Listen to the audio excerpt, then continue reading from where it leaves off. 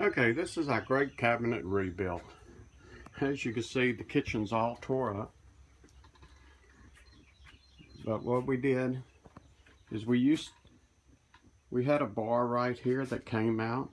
And when the slide was in, it blocked the, the pathway. You had to climb over the slide to get into the bed area. So what we did is we cut, cut that bar out from there. And I rebuilt this front. So our sink would be actually right there up against the wall. The stove would be there.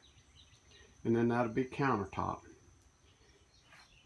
But I built this cabinet out of old parts and new parts. Which is going to give us more storage space here. I've got shelves to put in yet.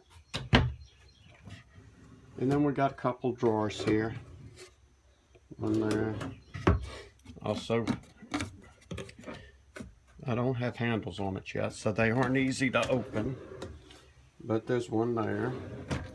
And then there's also going to be more storage under there. Pull, pull out pantry there for spices and stuff.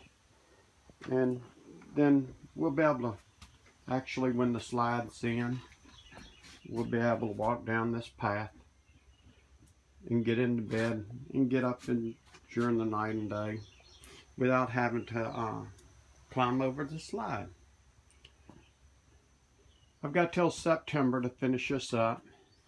We also plan to paint all the kitchen cabinets, which is not a whole lot, but it will take time to get it done. Okay, we're going to let you go. I'm going to work on the countertop, I think, now. Try to get it started and get it on maybe, hopefully today. I won't get the sinks and the stove back in, but maybe I can get the countertop done. It's about to rain in our, where we live, so we'll have to work around the rain. Okay, I got my countertops rough cut out. That's basically what they're gonna look like. I still got to cut some different kinds of wood to put in between the boards to give them a little bit of color naturally my go there I'll cut that out. These will be trimmed up and where my stove would fit between the two. And then this corner down here it'll be kind of curved we'll kind of curve it around like that. Okay so the weather set in here. We're on a tornado watch. As you can see it's really really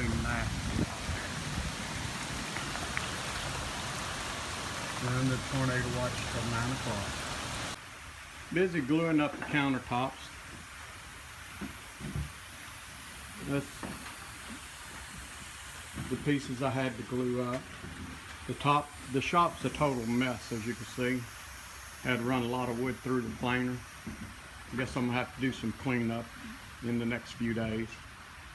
Okay, we gotta let the glue dry on these countertops and then I'll be able to uh, go to the next phase of gluing the four sections up to make one top.